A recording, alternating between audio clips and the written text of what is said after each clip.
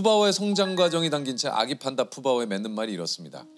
한 생명체의 탄생을 맞이하고 자라는 매 순간을 함께하면서 옳지 잘할 수 있어 옳지 잘하네 말은 통하지 않아도 마음이 통하는 것이 무엇인지 알았고 자연에서 오는 존재의 특별함과 소중함을 느꼈습니다. 모든 생명체의 인연이 영원할 수는 없지만 언젠가 이곳을 떠나 자신의 삶을 살아갈 푸바오가 지금처럼 건강하고 밝게 살아가기를 그리고 엄마 아이바오처럼 좋은 엄마 판다가 되기를 푸바오 사랑해. 어. 아우 너무 뭉쳐다. 그렇죠. 아, 멋있네요. 어, 직접 쓰신 거 아닙니까? 그러니까 멋있다고. 멋있어요.